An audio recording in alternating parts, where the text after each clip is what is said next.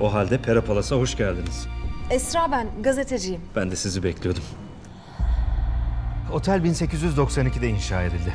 Manyak bir tarihi var buranın. Bir bilseniz. Dilerseniz bu gece sizi Pera Palas'ta ağırlayabiliriz.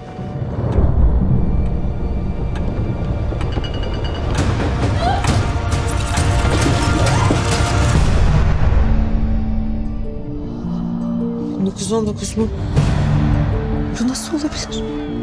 Senin ne işin var burada? Burası gerçek mi? Mustafa Kemal'e karşı planlanan suikastten haberin var mı?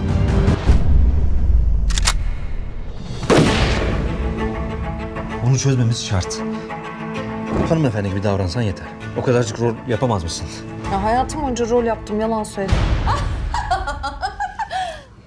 En iyisi pek konuşmamak.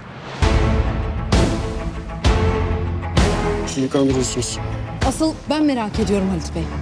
Siz kimsiniz?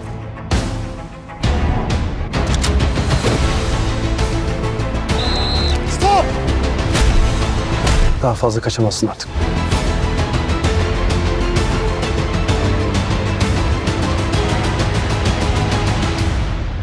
Daha yeni başlıyoruz.